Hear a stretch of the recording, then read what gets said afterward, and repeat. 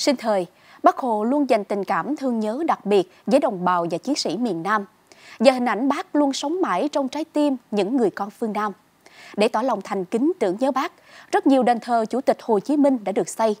Trong đó có đền thờ bác tại ấp Vĩnh Hội, xã Long Đức, thị xã Trà Vinh, nay là thành phố Trà Vinh. Ngôi đền được xây dựng trong thời điểm cuộc kháng chiến chống Mỹ cứu nước ở giai đoạn cam go ác liệt nhất. Nhưng cũng chính là minh chứng cho tinh thần đấu tranh kiên cường và tấm lòng sắc son của nhân dân Nam Bộ với người.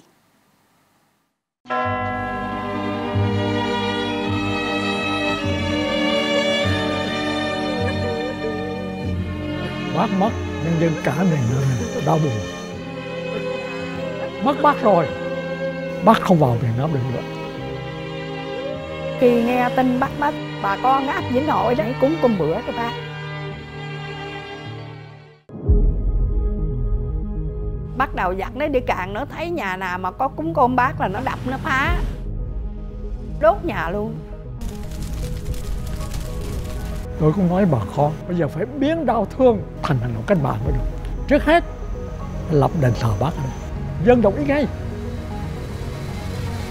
Thị ủy Trà Vinh cùng quân dân Long Đức quyết định xây dựng đền thờ Bác Hồ ngay tại trung tâm xã Long Đức, thuộc vùng địch kiểm soát.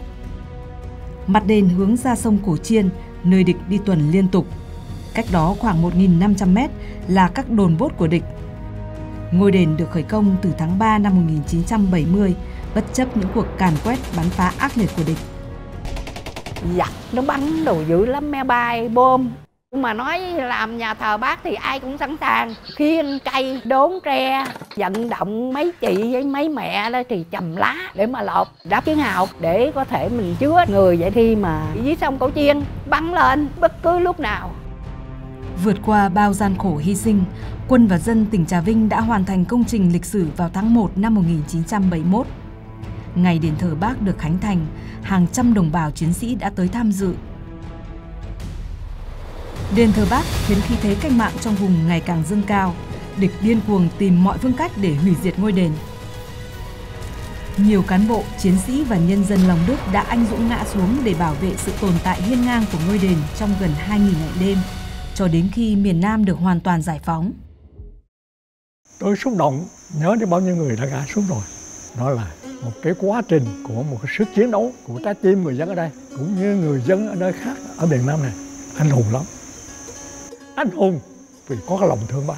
Bác đi thật rồi sao bác ơi? Mùa thu đang đẹp nắng xanh trời, miền nam đang thăng mơ ngày hội. Rước bác vào thăm thấy bác cười.